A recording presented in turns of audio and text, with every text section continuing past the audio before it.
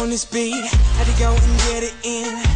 Knock on your door, baby, come and let me in. I'm here to ride it out, so baby, settle in. I'll be your remedy, call me your medicine. That's right. Денеска ќе ве запознавам со едни многу интересни дечки кои се занимаваат со уште поинтересен екстремен спорт. Тука со нас се паркуристите од Скопје. Од каде потекнува поимот паркур и што точно означува? На почетокот го преведувавме погрешно, некако добивме информација дека на македонски би било преку дворот, ама проверивме по подетално истраживме околу тоа.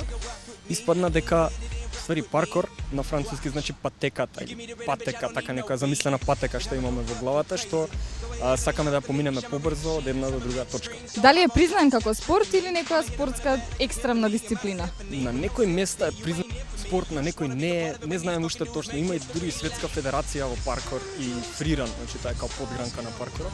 За сите заинтересирани, каде може да ве најдат и дали може воопшто да ви се приклучат?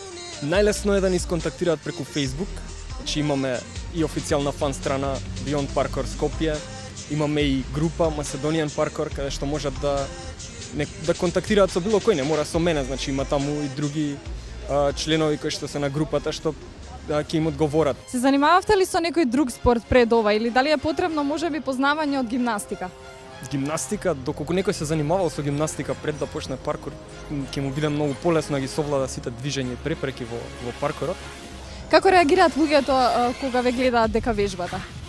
Па има и позитивни и негативни коментари. Обично постарите луѓе мислат дека нешто ќе направиме штета на на местото каде што вежбаме. Често има и позитивни коментари, као браво дечки, интересно изгледа ова, ал, ал да вие и така така.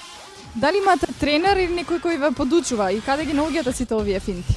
Немаме баш тренери официјални што не учат бар нас постарите. Ние сме си сами еден вид на тренери, гледаме да речеме некој на YouTube што ќе објави некој трик нов или како се прави тој трик и од него пробуваме да го имитираме тоа и да го научиме. Кои локации ви се омилени и најсоодветни за, за вашите тренинзи? Најчесто вежбаме тука во градскиот парк, дека имаме секако вид на површина, значи имаме и, и бетон, имаме и трева, имаме и помеки делови кај што може да се учат нови работи.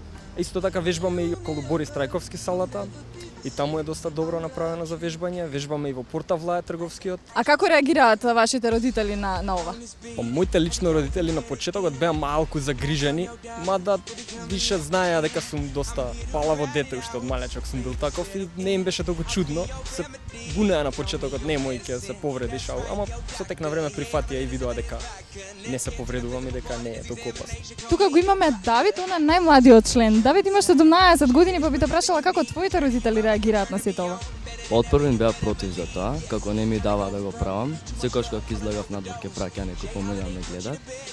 Ама после некое време, две години, ми си рекоа ајде ќе го оставиме да видиме што можем, се докажав и ме оставија да правам што правам. The sun goes down, the stars come out, and all that counts is here and now. My universe will never be the same. I'm glad you came.